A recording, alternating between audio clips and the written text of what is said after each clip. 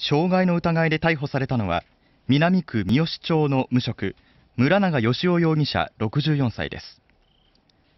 警察によりますと村永容疑者は今日午前10時ごろ南区内の公園で鳩への餌やりを注意した69歳の男性の顔を殴って怪我をさせた上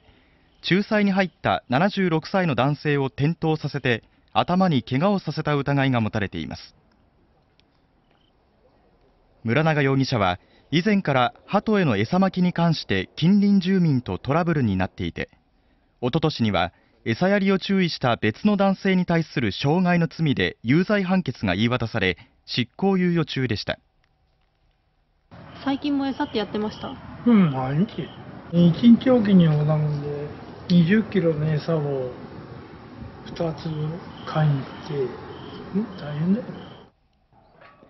調べに対し村永容疑者は公園で鳩に餌をやっていたことを注意されて腹が立ったなどと容疑を認めていて警察が詳しい経緯を調べています。